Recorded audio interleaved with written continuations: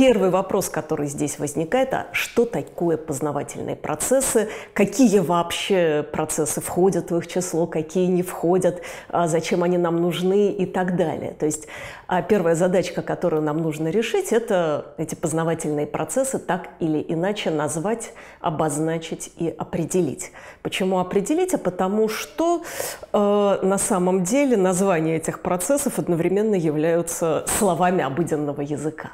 И каждый сам для себя знает, например, что такое память, что такое внимание. Но для того, чтобы пытаться их изучать, нам понадобится определение, которое ограничит нашу область исследований. Ну, для начала если мы посмотрим вообще на слово «познавательный», нам станет очевидно, что это те процессы, которые дают нам знания о мире.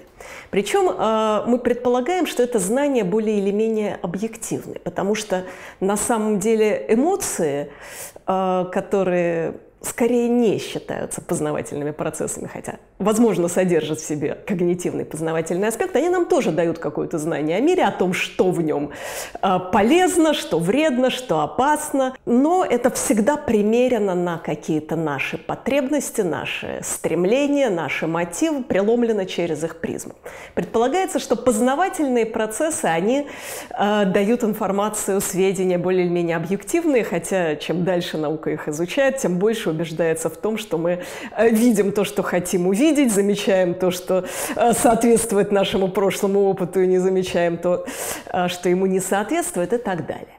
А как нам выстроить перечень этих процессов.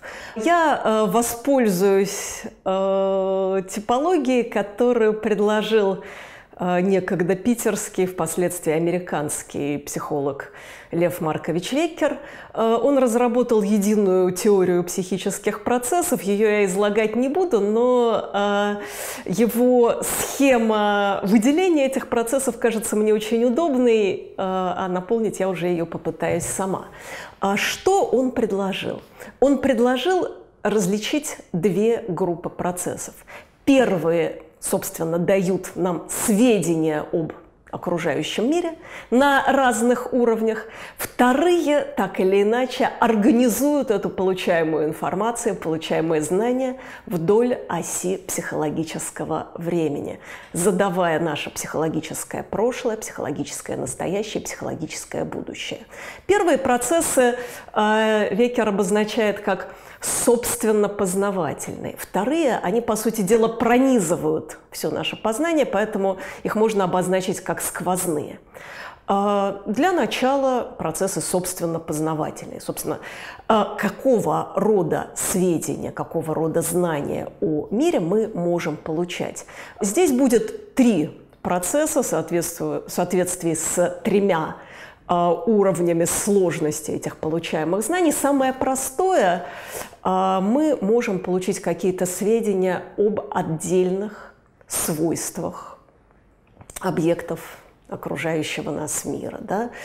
А, мы можем отличить красное от синего, холодное от теплого, яркое от тусклого и так далее.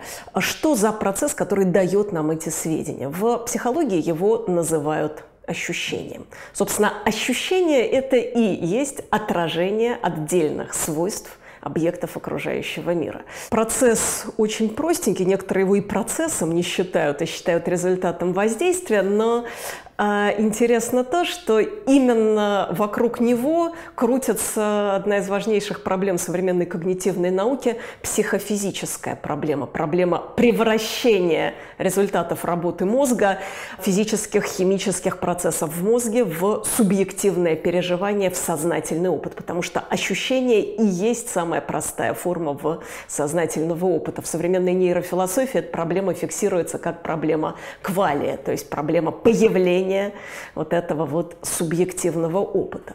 Но на самом деле, если мы э, посмотрим на нормального взрослого человека, мы увидим, что окружающий мир, в общем-то, ему дан скорее не в, не в ощущениях.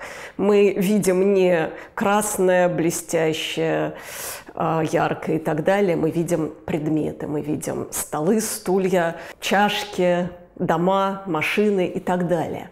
То есть, а, по сути дела, для нас ощущение не является ведущим процессом. А ведущим процессом для нас э, становится процесс, который дает нам образы целостных объектов окружающего мира.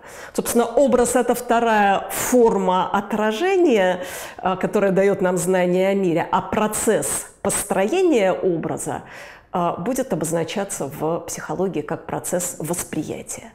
А, то есть восприятие так и определяют как процесс построения образа в результате воздействия на органы чувств а, физической энергии, а, которая отражается или излучается объектами внешнего мира. Почему это важно? Потому что на самом деле образы бывают разные. Да? Бывают образы сновидений, бывают образы по типу галлюцинаций, которые не предполагают внешнего воздействия, хотя обладают для нас реальностью. Имеет определенное значение, но именно восприятие – это процесс построения образов а, окружающих объектов в результате воздействия физической энергии. В образе уже очень силен субъективный компонент, вклад самого а, человека в то, что получится. Потому что с одной стороны это воздействие, с другой стороны это всегда наше знание о мире. Мы смотрим на какой-то предмет, мы видим чашку.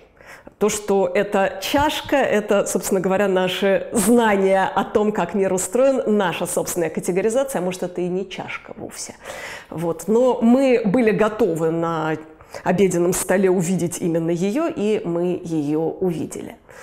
А, однако, очень часто оказывается, что для того, чтобы совершать какие-то действия в окружающем мире, одного только а, восприятия, ну и ощущений, э, которые сигналят нам о свойствах внешних объектов нам оказывается недостаточно. И недостаточно нам их оказывается прежде всего в тех случаях, а, когда мы не можем непосредственно совершить требуемое действие в отношении объекта. Например, э, на шкафу стоит э, та же самая чашка, она нам нужна, мы подошли к шкафу и ее достали. А что делать, если шкаф слишком высокий? А рука у меня слишком короткая. Вот тут нам понадобится еще одна форма отражения, которая позволит отразить не просто чашку, а отношение между чашкой и мной как субъектом, который эту чашку хочет достать. Но, может быть, вы уже поняли, что я намекаю на известные эксперименты, связанные с изучением разумного поведения животных, да, когда обезьянка пытается достать подвешенный к потолку банан, должна для этого сделать постройку из ящиков или придумать, а, как придвинуть к себе фрукт, который лежит далеко за пределами клетки. А, восприятия недостаточно, нужно отражать связи и отношения между объектами действительности, появляется новый процесс, который э, в психологии обозначают как мышление. Собственно, мышление так и определяют как отражение связей и отношений между объектами действительности, но не только, потому что на самом деле, когда мы говорим о разумном поведении животных, это не мышление в собственном смысле слова. Мышление человека, помимо установления вот этих связей и отношений позволяет выделить существенные свойства объектов. Потому что, устанавливая связи, мы понимаем, что в объекте важно, что не важно с точки зрения решаемой нами задачи. И при этом такое отражение всегда носит характер обобщенный. То есть мы, извлекая вот это существенное, можем его перенести а, на какие-то другие классы явлений и а, всегда вооружено определенными средствами познания. Поэтому этот процесс будет называться опосредственным. То есть мышление в психологии будут определять как обобщенное и опосредственное отражение связей и отношений между объектами действительности, а также их существенных свойств. Но как вот эту штуку изучать, совершенно непонятно, э, вот, как ее операционализировать в эксперименте. Поэтому в экспериментальной психологии, в когнитивной психологии, в частности, мышление сужают, давая его более узкое определение в собственном смысле слова, как процесс решения задач. То есть устранение конфликта, раса согласование а, между теми условиями, в которых мы оказались, и теми требованиями, достать, например, чашку высоко стоящую на шкафу, а, которые мы должны в данный момент определить. То есть задача это и есть цель, поставленная в определенных условиях, и мышление нужно только тогда, когда между ними есть конфликт, когда цель сама по себе недостижима. Но помимо этих процессов, которые нам дают знания о мире, как я сказала, есть процессы сквозные, организующие это знание по оси психологического времени. И если мы на эту ось посмотрим, мы на ней можем обнаружить, во-первых, психологическое прошлое, во-вторых, психологическое настоящее, и в-третьих, психологическое будущее, что даст нам еще три процесса, которые изучает когнитивная психология. Психологическое прошлое – это, очевидно, процессы памяти. То есть процессы запечатления, хранения и извлечения некоторого опыта, который в дальнейшем может быть нами использован. Психологическое настоящее – то, с чем мы имеем дело здесь и сейчас, то есть то, что мы выбираем для для анализа, для обработки прямо сейчас и удерживаем а, в качестве объекта нашей познавательной деятельности, это со всей очевидностью процессы внимания то есть процессы отбора и сосредоточения и, или удержания некоторого материала. Ну и, наконец, самое загадочное, что такое психологическое будущее.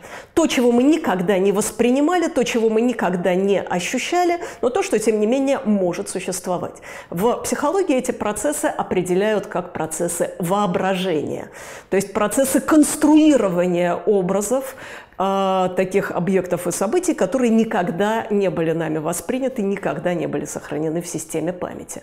А, воображение, очевидно, тоже может быть разным. Оно может быть связано просто с преобразованием чего-то, что мы видим.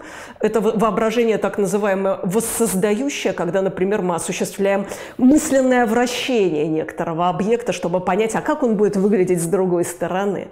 А, довольно распространенная в когнитивной психологии, особенно 70-х годов, задачка, когда измеряли, а сколько времени требуется на мысленное вращение, зависит ли от угла, на который мы должны повернуть объект и так далее. С другой стороны, э, воображение может создавать что-то принципиально новое, э, то, чего никогда не было. Такое воображение в психологии называют творческим. И на самом деле вот эта проблематика творческого воображения, она очень тесно смыкается с проблематикой творческого же мышления, то есть решения принципиально новых задач, которые раньше никогда не были решены. Таким образом, э, мы видим, что, по сути, у нас есть две оси для организации всех познавательных процессов человека. С одной стороны, это ось конкретности или абстрактности, э, отражения окружающего мира, да, ощущение и восприятие дают нам конкретные сведения мышления, позволяет извлекать абстрактное, категоризовать предметы, формировать понятия, обобщать. И, с другой стороны, ось психологического времени, вдоль которой будут организованы память, внимание и воображение. И очевидно, что все эти процессы так или иначе друг с другом взаимодействуют. То есть трудно изучать память без внимания, трудно изучать внимание без анализа восприятия, мышление без памяти. А, поэтому современная когнитивная психология стремится к анализу не только конкретных процессов, но и представлений о том, как устроено познание вообще, то есть как может выглядеть наша когнитивная архитектура, дающая нам знания о мире.